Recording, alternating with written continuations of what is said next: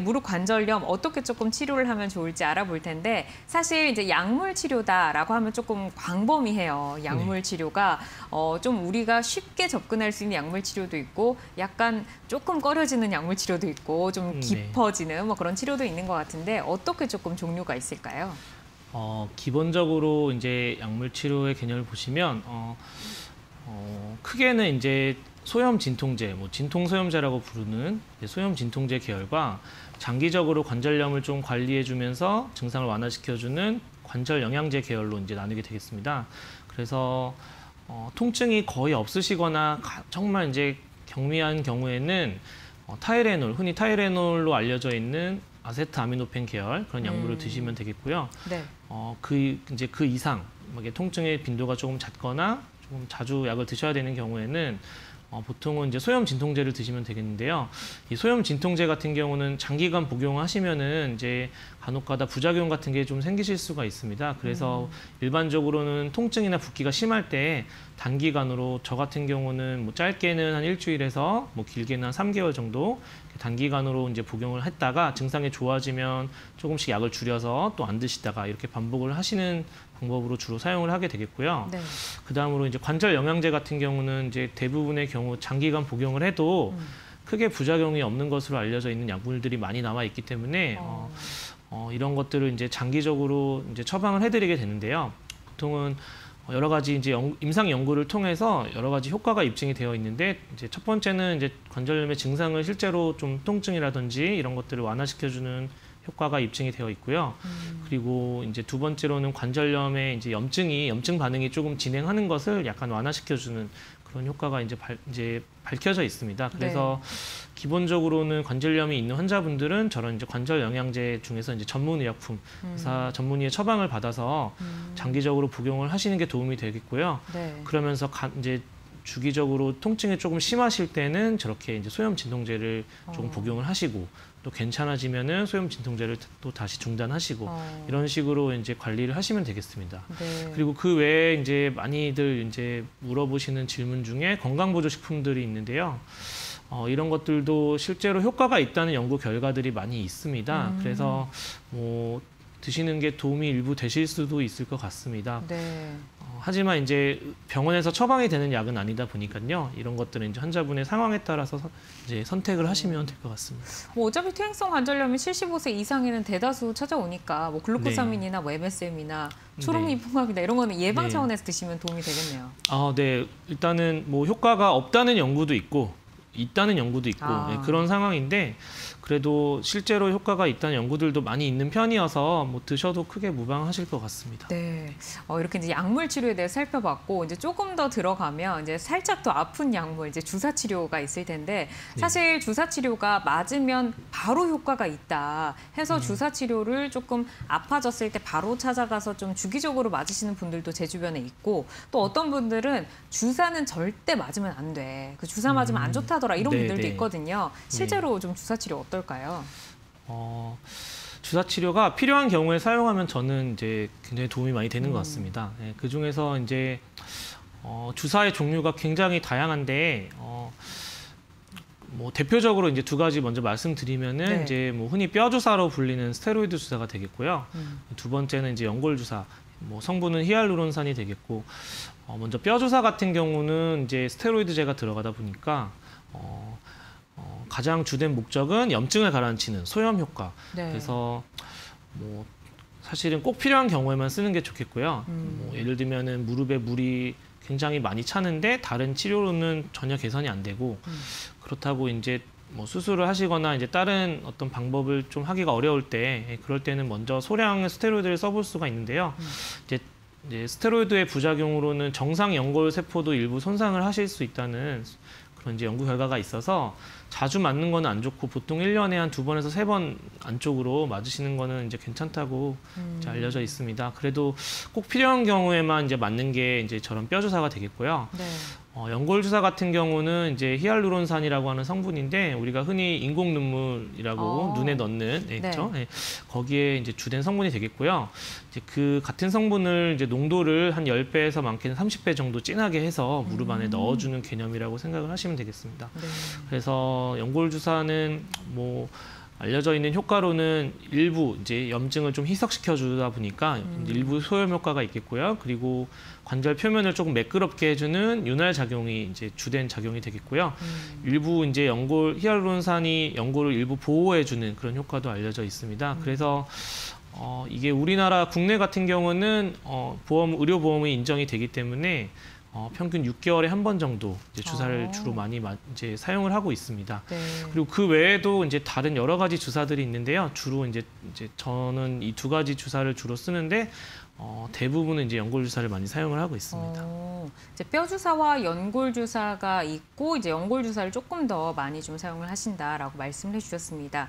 어, 네. 이제 약물이나 주사로 사실 상태가 호전이 되면 당연히 뭐 반가운 소식이고 가장 좋겠지만 이걸로 이제 해결이 되지 않을 경우에는 좀 더 적극적인 치료로 넘어가야 할 텐데 그 수술 중에서도 요즘에 들어보니까 그 내시경 수술은 좀 아. 그래도 많이 좀 하시는 것 같더라고요. 네, 네. 어떤 방법일까요?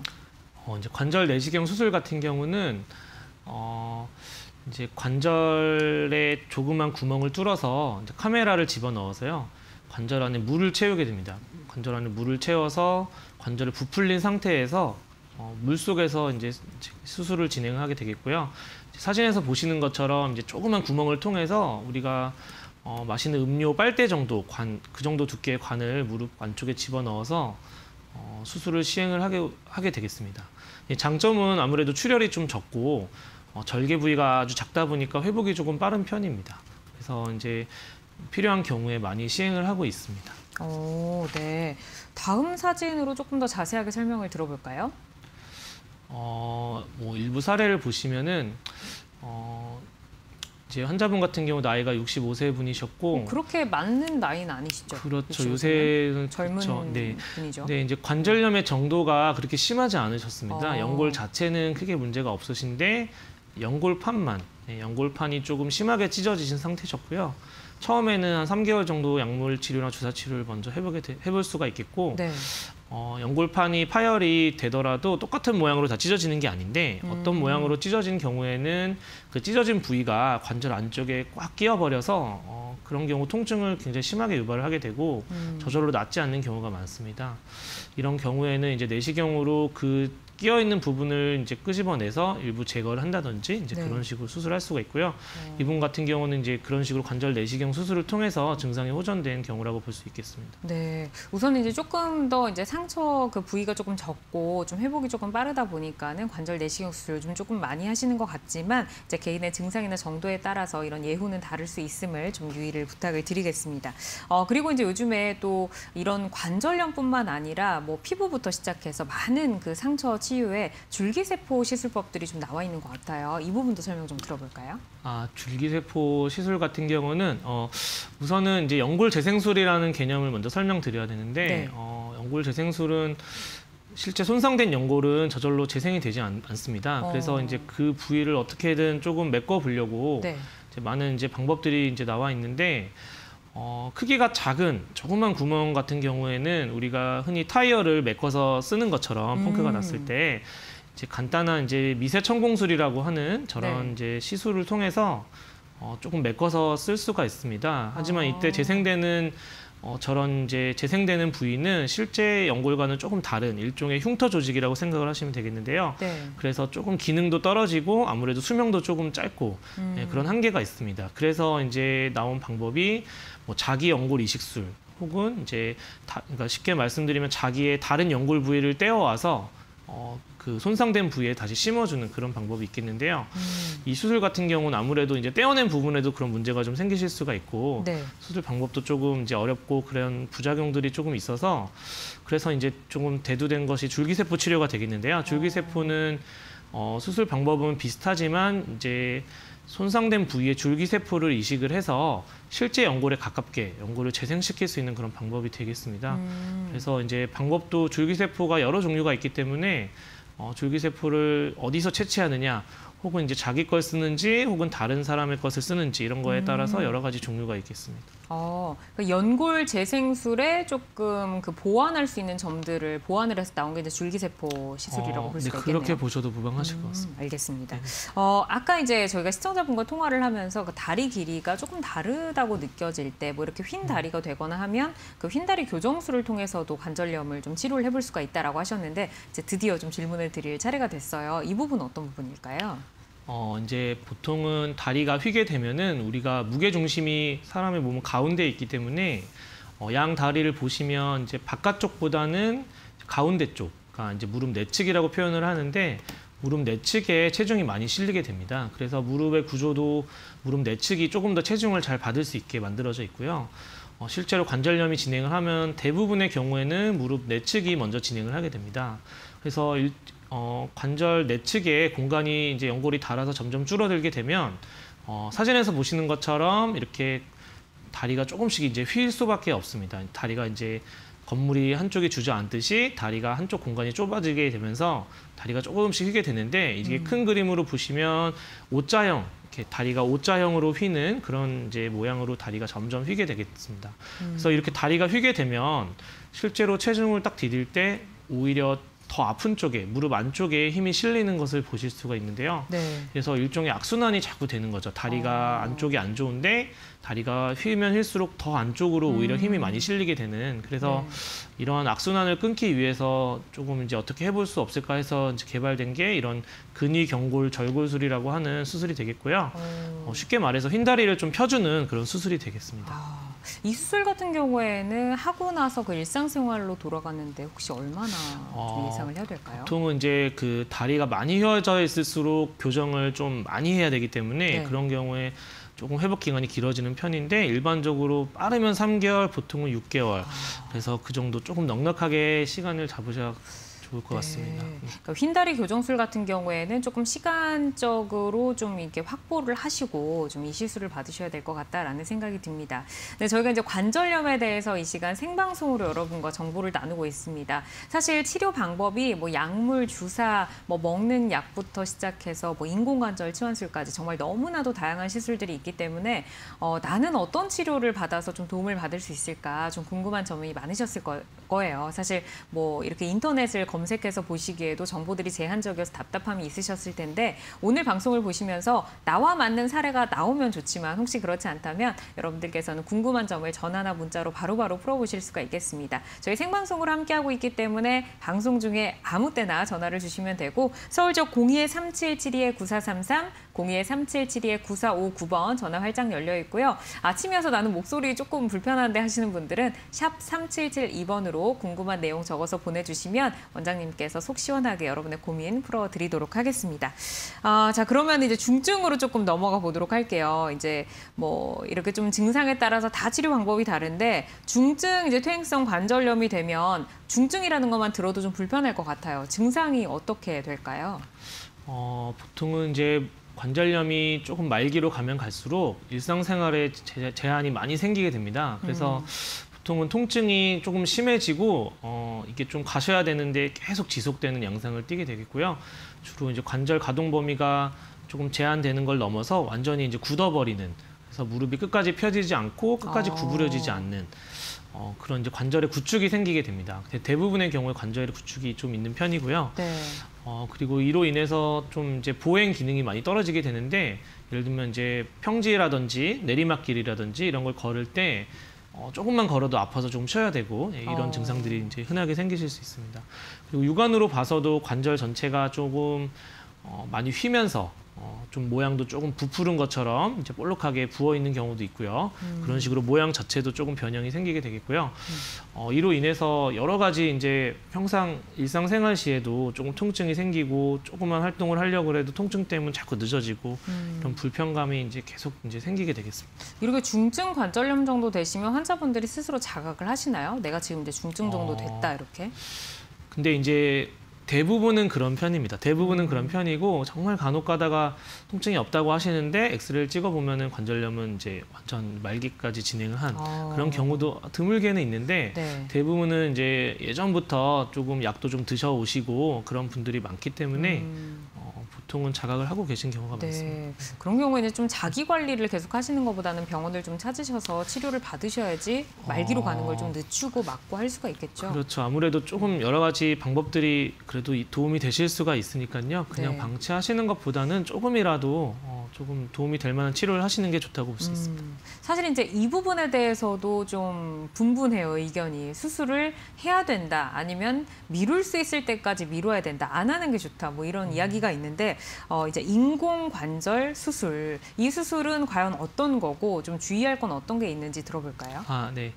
그러니까 두 가지가 다 맞는 말입니다. 그래서 보통은 안 할 수 있으면 안 하는 게 좋은 것도 맞고요. 네. 너무 늦어지면 안 좋다 이것도 맞는 말인데요. 어, 보통은 어, 이제 첫 번째 말을 먼저 보시면 대부분의 경우 이제 다른 치료를 최대한 버틸 수 있는 만큼 해보고 음. 어, 어, 해본 이제 그래도 안 될 경우에 인공관절을 하시는 게 이제 맞다고 보시면 되겠습니다. 음. 그래서 흔히 이제 비유를 드리면은 우리 이빨 충치 치료 하실 때 네. 최대한 참다가 가시는 것처럼 이제 좀 참아 보다가 네. 도저히 이제 약이나 다른 치료로는 좀 어, 해결이 안 될때 아. 일상생활에 제한이 너무 심할 때 이제 수술을 하시면 되겠고요. 음. 어, 보통은 이제 인공관절 수술을 보시게 되면 저렇게 어, 손상된 연골 표면을 뼈랑 같이 이렇게 일부를 깎아내고 금속으로 씌워주는 네, 이런 개념의 수술이라고 되겠습니다. 음. 그래서 우리 치과 치료 중에 크라운 씌우는 것처럼 네. 어, 뼈의 심지 부분은 남겨놓고 이제 손상된 표면 부분을 깎아내서 그와 똑같은 크기의 이제 금속을 씌워 놓는다 이렇게 생각을 하시면 되겠고요. 네. 어, 그래서 이제 아까 말씀드렸던 내용 중에 수술 시기가 너무 늦어질 경우에는 저 뼈 자체가 조금 손상이 많이 되거나 음. 어, 주변의 관절이 변형이 너무 많이 심해져서 인대라든지 그런 기능이 조금 문제가 생긴다든지 어, 네. 그런 경우가 생기실 수가 있는데 그런 경우에는 이제 수술을 하고도 조금 결과가 안 좋으실 수 있기 때문에 이제 어. 병원에서 어느 정도 수술이 조금 필요한 경우인 것 같다고 하셨으면은 그래도 너무 미루시는 것보다는 음. 어느 정도 조금 버텨 보시다가 수술을 하시는 것도 좋으실 것 같습니다. 네. 그러면은 인공관절 수술을 통해서 좀 무릎의 상태가 호전된 긍정적인 사례가 있을까요? 어, 그렇죠. 이제 보시면은 이분 같은 경우는 이제 오른쪽 그림을 보시면 다리도 많이 휘어서 많이 휘어 그렇죠. 이제 무릎 사이가 많이 벌어져 있고요. 어. 어, 나이는 70대 중반이셨고요. 음. 이게 좀 예전부터 치료를 받으시던 분입니다. 그래서 한 10년 정도 대략 치료를 받으셨고 아. 최근 들어서는 이제 무릎이 좀 아파서 걷기도 힘들고 어, 한 1년 전부터는 약이랑 주사도 이제 보통 6개월에 한 번씩 맞던 게 음. 어, 너무 이제 효과가 없으셔서 한 달에 한 번씩 맞는다든지 네. 이런 식으로 조금 효과가 점점 떨어지면서 이제 제한이 많으셨었던 분인데요. 이제 어. 엑스레이 보시면은 관절 간격이 많이 좁아져서 거의 네. 뼈와 뼈가 닿아 있는 것처럼 보이시죠? 예. 음. 그래서 이런 분들 같은 경우는 이제 어느 정도 조금 치료를 해보시다가 안 되면 수술을 권유드립니다. 어. 그래서 어, 어, 이제 실제로 진료실에서 보면은 관절이 많이 굳어 있어서 무릎이 네. 안 펴지고 구부러지는 것도 아. 끝까지 안 되시고 이런 쪼그려 앉는 거는 전혀 못 하시고 이런 분들이 이제 오시는데요. 이제 인공관절 그림에서 보시는 것처럼 다리가 조금 많이 펴지면서 실제로 활동하실 때 이제 체중을 부하할 때 발을 디딜 때 통증 자체가 조금 많이 줄어들다 보니까 훨씬 이제 일상생활이 편해지십니다. 네, 지금 엑스레이 상으로도 보니까는 굉장히 좀 고다진 모습을 좀 보실 수가 있겠네요. 네, 그래서 보통 양측을 하실 경우에는 양측을 뭐 한쪽씩 번갈아서 하시는 방법도 있고요. 음. 뭐 일부 병원에서는 이제 양측을 동시에 하는 방법도 이제 진행을 할 수가 있습니다. 네. 네, 저희가 사례와 함께 살펴봤는데요. 개인의 증상이나 정도에 따라서 이제 수술의 어, 후기는 달라질 수 있음을 유의를 해주시길 바라겠습니다. 사실 이제 관절염이 이제 치료 매뉴얼이 좀 있으면 좋겠어요. 초기는 어떻게, 중기는 어떻게, 말기는 어떻게. 혹시 뭐 이렇게 정리를 해주신다면 어, 떻게 네, 좀 저희가 그렇죠. 이제 환자분들마다 다 다르긴 하겠지만 정리를 그래도 해보자면 네. 어, 기본적으로 초기 관절염 때는 어, 필요한 경우에만 약을 좀 드시고 어, 생활 습관을 주로 교정하시고 체중을 줄이신다든지 뭐 적절한 운동을 하시든지 이런 식으로 관리를 하신다고 생각을 하시면 되겠고요. 어, 좀 증상이 약으로도 조절이 안 될 경우에 주사 치료를 해보실 수 있겠습니다. 음, 그리고 이제 관절염이 어느 정도 진행을 하면서 약에도 조금 효과가 없거나 통증이 한 달 이상 가신다든지 이런 식으로 조절이 조금 안 되는 경우가 있을 텐데요.